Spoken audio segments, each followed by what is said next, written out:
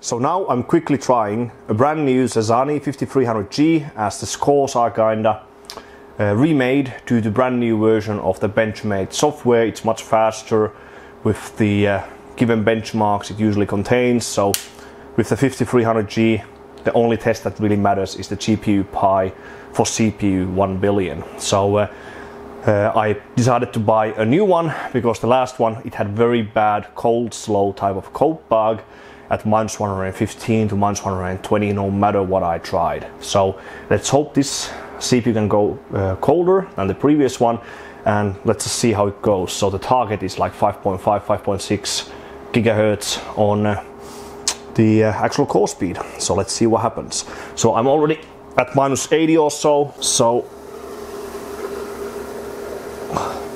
I'll just keep cooling down and I'll show you all the stuff on the capture card.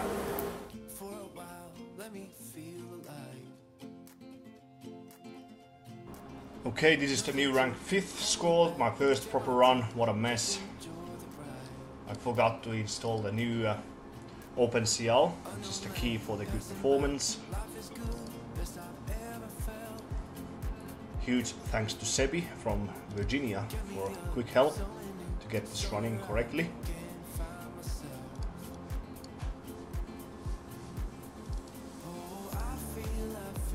Okay, let's try again.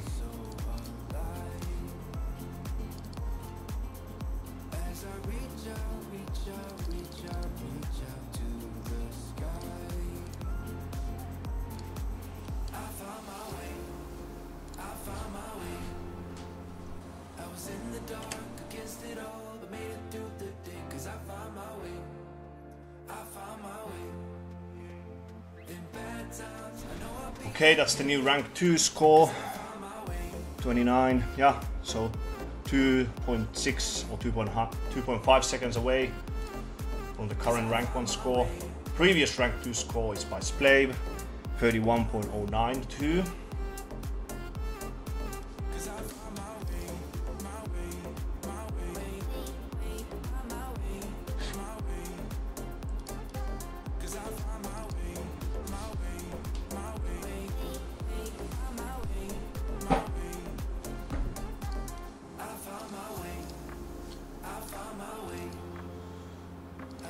let's try to push it, but it's quite hard.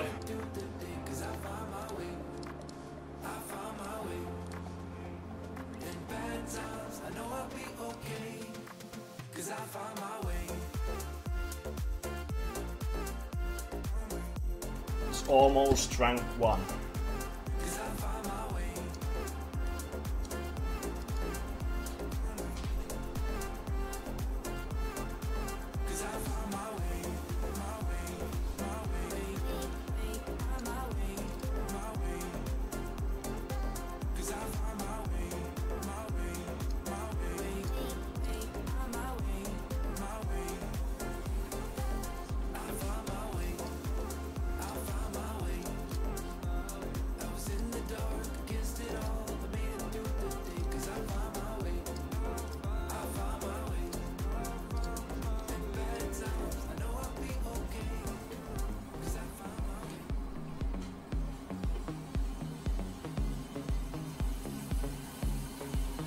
25 megahertz more and it should be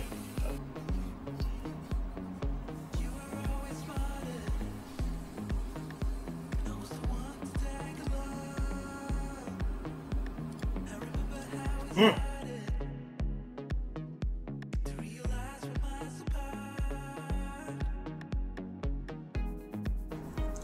Okay, that's the new top score.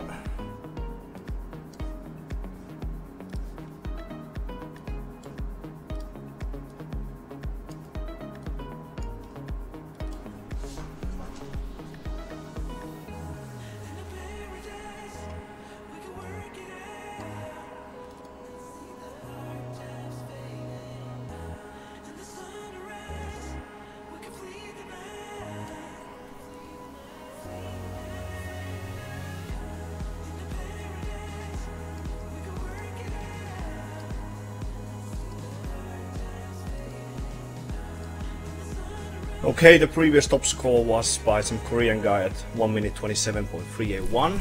this is uh, two, two, three, one. So barely. There's definitely not much headroom remaining. So I guess that's pretty much it. At least we managed to get it, but it's very hard to get the frequency any higher. So just uh, 5, 5, 13, 5, 5, 15, whatever.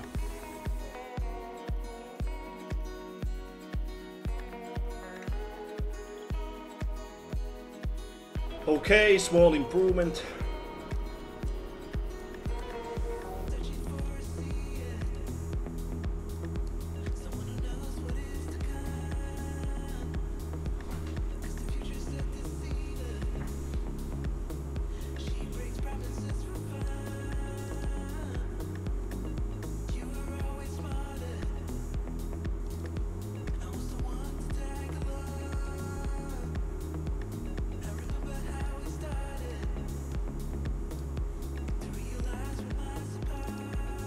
Guess that's like 200 or 300 millisecond improvement, something like that.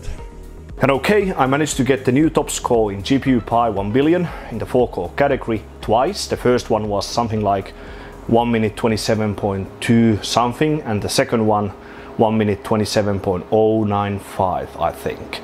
So this is probably the last top score for the EVGA X570 Dark, which is a pretty nice thing, as EVGA is not as EVGA is not really in the uh, highest end game at the moment in the motherboard scene due to their internal stuff, as, as the BIOS team is pretty much gone, etc. But it's still pretty awesome to see good performance on the EVGA motherboard. It was pretty hard to get the memories running correctly. It took me a lot of time and attempts to get like 4400, CAS 14, like 14, 13, 13, 28, etc running like successfully and stable. The, high, the hardest thing is, is uh, obviously the F clock as we want to maintain one-on-one -one ratio. The best frequency I got so far was uh, 4466 on the memory, so that's 2233 on the memory controller as well as on the F clock. So you need to run the F clock at one-on-one -one ratio with the memory controller. So uh, if we want to run 4600 on the memory, we need to get the F clock up to 2300. And on many of these AMD CPUs, the higher your F clock is, the worse the maximum temperature will become. But so far on these Cezanne CPUs, I haven't seen that impact on the cold bug. So uh, this seems to be pretty much like CPU dependent thing.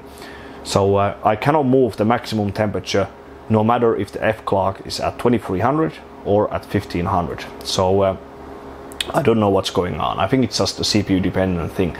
I got colder with this CPU than on my previous one, like 15 degrees colder, but the end frequency is somewhat the same or even actually a bit worse on this one. So uh, the maximum is somewhere around like 5.525 to 5.55. So uh, I got that same frequency pretty much or close the same on the previous 5300G but at warmer temperature. So that's probably actually a bit better CPU, the previous one.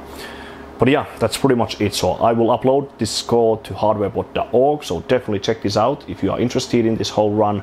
Yeah, don't know if I want to buy more of these 5300G CPUs just for this one single test. Probably not. But anyways, it's pretty uh, nice to see like uh, a global rank one score on my channel in a bit while if you ask me because I mostly do like all the hardware and so on. But yeah so uh, if you like to see this session then please give this video a thumbs up and subscribe to my channel. Maybe check out my patreon page as well if you want to support my work. And yeah thanks for watching. One of my videos once again and I will see you on the next one